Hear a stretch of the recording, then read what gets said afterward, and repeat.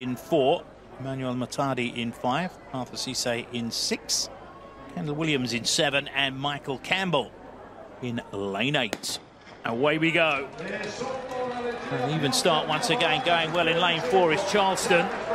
He's being hunted down by Cisse. Oh, and how about that for a finish? Fantastic finish from Ken nowhere. Looked to be a four-horse race, and then through came Kendall Williams.